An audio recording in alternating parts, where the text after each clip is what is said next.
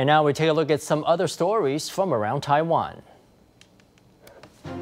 The first non-profit independent cinema in Taoyuan has been set up in the Art Matsu village. The cinema not only offers a variety of films, but also organises events where directors get to meet the public and discuss their films. In future, it plans to arrange for screenings of various films in villages and townships across Taoyuan. An elderly couple from Puyan Township in Changhua County had been filmed with enormous regrets that they were too poor at the time of their marriage 60 years ago to take any wedding photos. Now, some university students travelling in the countryside have stepped into the rescue. They have helped the couple dress in traditional clothing to finally realise their wedding photo dream.